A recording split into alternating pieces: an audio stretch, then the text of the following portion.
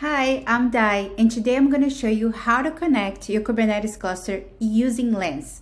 Let's get started. So first, just open up Lens uh, desktop application on your desktop and click here on Local Catalog. Once there, just click on Clusters, and that's a couple of ways to add your Kubernetes clusters to Lens. You're always going to need your kubeconfig file. But Lens is also very good in auto-detecting and syncing your kubeconfig files on your local machines.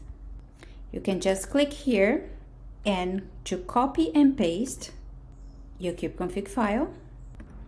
Or you can come just here and click on sync kubeconfig to search it up and sync your, kube, your kubeconfig file.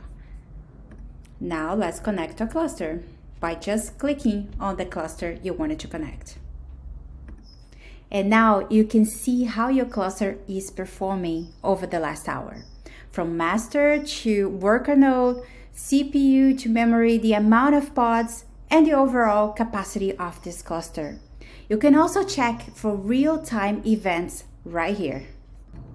And that's it. We made it. For more information, just check our documentation and also please interact with us on Lens Forum. So happy clustering with Lens.